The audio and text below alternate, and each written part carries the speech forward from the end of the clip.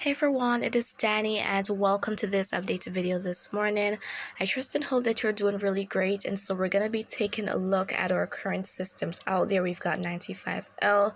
We also have that next tropical wave given a high chance of development so we could have two active named storms by the end of this week. Uh, maybe even one being a hurricane which is 95L since it is expected to intensify. And so uh, we're going to be taking a look at these systems, what is happening across the Caribbean and surrounding surrounding areas as well. And before I go into details, please do subscribe if you haven't yet done so and tap the bell so that you never miss an important update. All right, so we're going to kickstart things firstly looking at the satellite imagery. Uh, and here we can see that we've got the remnants of our, our tropical cyclones out there, which are no longer active. And uh, that cluster of showers and thunderstorms that we see, that is Invest 95L. There's another disturbance, which is off of Africa, and we'll be moving to those in a moment. But going into the Caribbean and surrounding areas, here we can see some thunderstorms popping up well to the north of the Dominican Republic and offshore of the Turks and Caicos Islands. Also seen some activity across sections of Cuba, near Jamaica, Hispaniola, and I know that last night some uh, areas actually experienced some showers and thunderstorms in parts of Jamaica, especially southwestern parishes. You can let me know what happened for you. Over in Central America, not a whole lot happening this morning. And uh, let's go down to Northern South America and the South Caribbean, and here we can see that there isn't much taking place here either. But near Trinidad, there are those showers and thunderstorms moving in and other parts of the Windward Islands. So uh, there might be some increased rainfall across some spots today.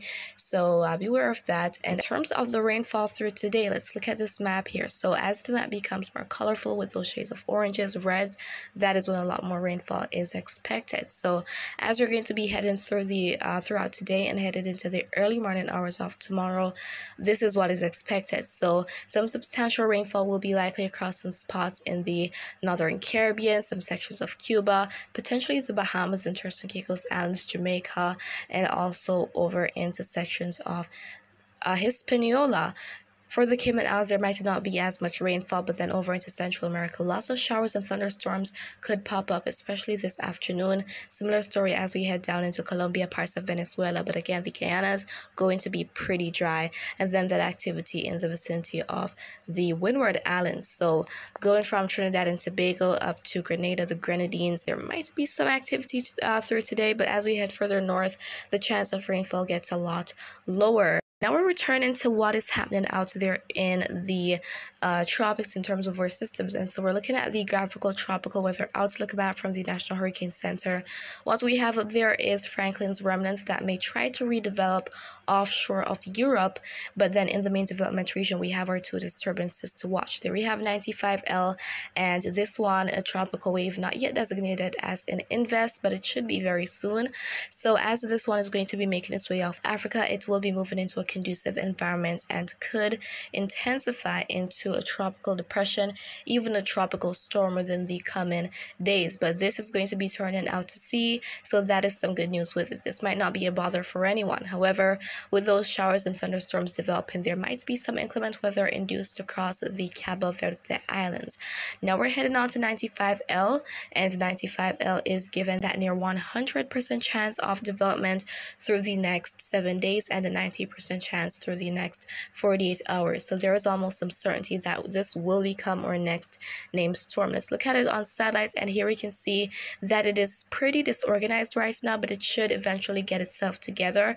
And uh, let's look at conditions out there in regards to the dry air. So the wind shear should be conducive. We know the ocean temperatures are pretty much off the charts right now. So it's that dry air. Let's look at it. Here we can see that we've got some dry air in the vicinity of the disturbance. So uh, this might try to play a role in impacting the system, uh, the system's development. So let's see how it's going to behave through today and uh, if it will indeed become our next named storm, maybe by later today or tomorrow. But I mean, that seems pretty likely right now.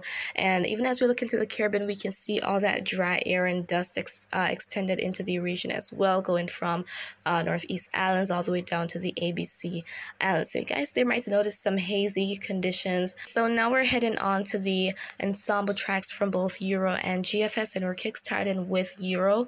And when we see the tracks being pink, those are major hurricane force winds expected. So we can see that there is pretty good agreement with most of the ensemble members for Euro that we're going to have this becoming a major hurricane to the north of the eastern Caribbean. Look at them taking the system up north and out to sea. So if you're in the US, I know that there has been uh, many there have been many persons asking in the comments, will Florida be impacted especially? So uh it seems unlikely at this point in time. There is just so much consistency as of lately with that curve that is expected. And some members also expecting development of our next tropical wave.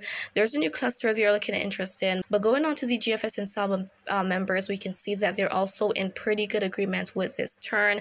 Some of these want to take the system a bit closer to the Caribbean, but uh, the area of the most dense tracks we see show that the system is not going to be very close in proximity to the Caribbean, but any impacts for northeastern islands will all be dependent on the size of it. And we should also note that even though we're seeing this kind of consistency, there can still be changes. So that is why we have to keep watching it over the course of the next couple of days. But it seems very unlikely that this will be impacting the US. So a frontal system will be exiting the states, and that should be uh, what causes that northward pull. And then with the model intensity guidance here, we have most models expecting that this will become a major hurricane. Three of them saying, okay, this will be a Cat 5. And I don't doubt that actually happening because it will be in a very conducive environment. And especially with those above average sea surface temperatures, that is going to be a big boost for the system. So I really think that it has the potential to actually make it to Cat 5 status. But in terms of that turn expected, we want to watch for potential impacts in Bermuda.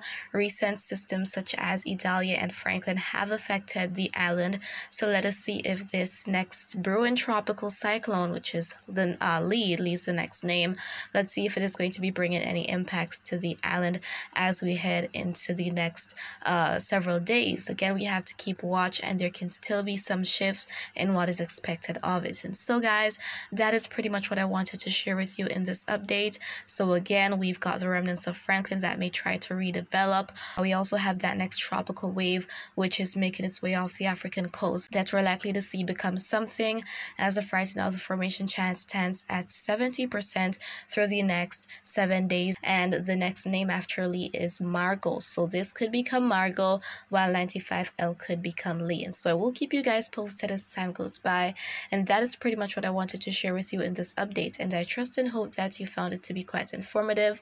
But if you have any questions, feel free to leave them in the comments. I'll respond once I get the chance to do so. And as always, remember to be otherwise.